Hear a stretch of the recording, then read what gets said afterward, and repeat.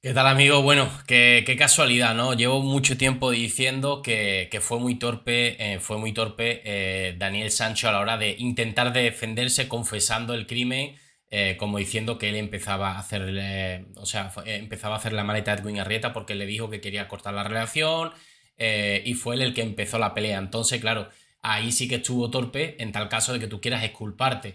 Ahí en aquel momento tendría que haber pensado Daniel Sancho voy a decir que yo en defensa propia me defendí y lo maté sin querer. Eso hubiera sido lo lógico. Pero bueno, digamos que, ya sea por nervios o lo que fuera, o porque quiso reconocerlo, reconoció la verdad. Es verdad que nervioso no se le veía, se le veía eh, con la cabeza alta, como si fuera muy narcisista y demás. Pero lo que va a contar, eh, según se ha filtrado, es que va a contar que lo quiso forzar, lo quiso violar y que evidentemente, pues él se tuvo que defender, ¿vale? Evidentemente, eh, ¿qué sucede? Pues como ya dijo eh, Big Joke, el número 2 de la policía tailandesa, si él no confirma lo mismo que ya confirmó la policía, pero en la justicia, puede ser condenado a pena de muerte. Con lo cual, no sé a qué acontece esta nueva estrategia en la cual creo que eh, el juez, mm, como ya nos dijo Borja Moreno, tonto no son los jueces, ¿vale? Estudian unas oposiciones por algo, también en Tailandia, eh, y evidentemente, habiendo dado una primera versión, tú das una segunda, evidentemente la credibilidad de esa persona queda en entredicho, como es lógico, ¿no? Daniel Sancho mantiene que Edwin Arrieta intentó violarle la noche del asesinato. Me defendí. Mi gente, vamos a reventar ese botoncito de las suscripciones, de los likes, la campanita y vamos a ver exactamente qué es lo que nos han filtrado, porque esto, eh, todo lo que nos está llegando al final no es nada oficial eh, al menos que aquí lo diga, creo que no es nada oficial, simplemente son filtraciones que interesan o a Tailandia o a la policía tailandesa eh, o al propio Daniel Sancho por medio de sus cauces, que ya sabéis, tema de la prensa y demás. Y es como se están filtrando muchas de las cosas que le interesa para la defensa de Daniel Sancho. Bueno, como sabéis, eh, Daniel está cumpliendo prisión preventiva en la cárcel tailandesa de Cosa Muy a la espera del juicio por el presunto asesinato y descuartizamiento de Edwin Arrieta. El joven confesó el crimen tras ser detenido el 4 de agosto, pero aún falta por aclarar muchas circunstancias que rodearon este eh, crimen, ¿no? Bueno, según recoge Caso Abierto, Daniel Sancho mantiene ahora una nueva versión de los hechos con el que evitaría, intentaría evitar ser condenado a pena de muerte en el país. Yo creo que esta estrategia es mala, es decir, yo creo que Big Joe fue bastante claro y todos los que hemos traído al canal que entienden del tema saben que en Tailandia se atenúa mucho el hecho de confesar. Es cierto que en España también, pero en Tailandia normalmente aún más. También, como nos dijeron el otro día, eh, Jorge Luque, en los últimos 50 eh, casos, 150, creo que él dijo 150 casos, eh, no se había ejecutado a nadie. Solamente uno, el último en el año 90 y tanto, con lo cual estamos hablando de de que no se suele ejecutar y muchísimo menos si es en extranjero, o sea, no hay ningún extranjero ejecutado por pena de muerte, es decir, que al final se le conmuta. Eh, ¿Qué quiere decir esto? Que la estrategia quizás sea a sabienda de que va a ser pena de muerte, pero luego conmutada, eh, pues bueno, pero por lo menos no, no, no, no digo que lo he hecho yo, ¿no? Digo que, o sea, que, no, soy, no soy culpable como 100%, porque digamos que era en defensa propia, ¿no? Y ya luego como que me asusté y, lo, y lo, me quise deshacer de él. No, a ver, normalmente lo que se tendría que haber hecho es, si tú crees que la han matado sin querer, llamas al médico, llamas a la ambulancia, que vengan. Y bueno, pues, eso hubiera sido lo lógico, ¿no? Está claro que era premeditado. Y, yo creo que esto le va a ser peor, peor el hecho de negarlo. Em, yo creo que va a ser peor de haber cambiado de versión, porque lo van a condenar directamente a pena de muerte, como ya dijo Bill Joe, cuando al menos tenía la, condición o la, o la digamos, mm, tenía la posibilidad de eh, confirmarlo. Seguramente iba a ser cadena perpetua eh, gracias a que lo ha confesado y ya de la cadena perpetua ya sí pueden luchar por año e incluso por la extradición. Pero cambiando de versión lo tiene todo aún más complicado y me parece que no va a ser ejecutado, pero que se va, se va a llevar de por vida en la cárcel y además de Tailandia. ¿eh? Bueno, Daniel Sancho asegura que Edwin Arrieta intentó violarle. Esta eh, nueva versión del hijo de Rodolfo Sancho mantendría que la noche del asesinato Edwin Arrieta habría intentado abusar sexualmente de él. Sigo diciendo que no tiene ningún sentido, que con la corpulencia y la fuerza que tiene Daniel Sancho, demostrado que en la reconstrucción el propio policía cuando, eh, o sea, se, reían a carcajada cuando lo tiró al suelo y, lo empujó y dijo, ¡guau! ¡Qué fuerza tienen, ¿no?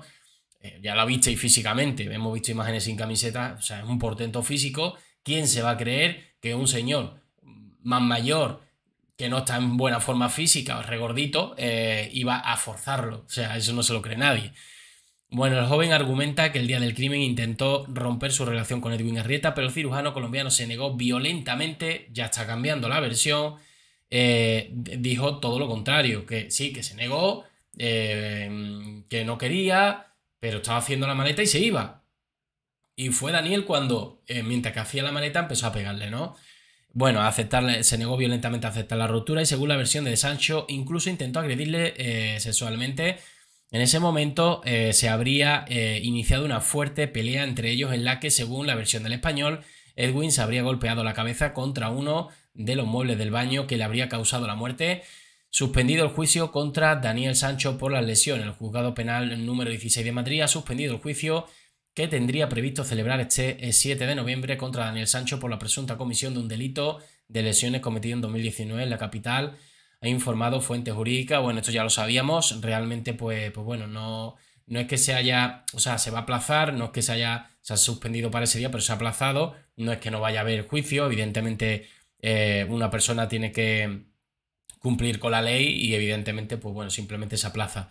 La suspensión se produce tras recibir una notificación de la Fiscalía de Tailandia en la que le comunica la imposibilidad de llevar a cabo la declaración prevista del acusado por videoconferencia en la hora señalada. Es decir, que quizá los juzgados en Tailandia a la hora en la cual estaban puestos en España concuerdan quizás en una teoría mía de que era seguramente por la madrugada en, Tailandia y evidentemente habrá que buscar un horario que, que sea lectivo tanto para eh, Tailandia como para España a la misma vez, ¿no? Como por ejemplo, que os digo yo, que en España sea las 8 de la mañana y ya estén abiertos los juicios y allí sea a lo mejor las 2 de la tarde y también estén abiertos. Por poner un ejemplo, en ¿eh? que no sé cuánta diferencia horaria hay, pero bueno, de, alguna manera que, estén, eh, se puede hacer la videoconferencia y no sea la madrugada que no hay nadie allí, evidentemente. Bueno, Sancho tiene en España un procedimiento por un delito de lesiones en el que la Fiscalía de Madrid solicitó en un escrito de abril de 2021 una pena de un año de prisión, así como el pago de la responsabilidad civil de, eh, derivada de la comisión de delito. Es por esto, por este tipo de cosas, eh, estos son por denuncias que recibió Daniel en su momento. Y es por este tipo de cosas que ya sí entendemos un poco más, eh, porque al principio decíamos, pero igual si es buen chaval, si dicen que es muy bueno, que tal, que igual, claro, son los amigos del principio que hablaron, pero realmente tenía un pasado, digámoslo, delictivo, o al menos, mm, ¿qué queréis que os diga? partiendo dientes, partiendo caras, eh, como entenderéis, pues al final hay una serie de cosas.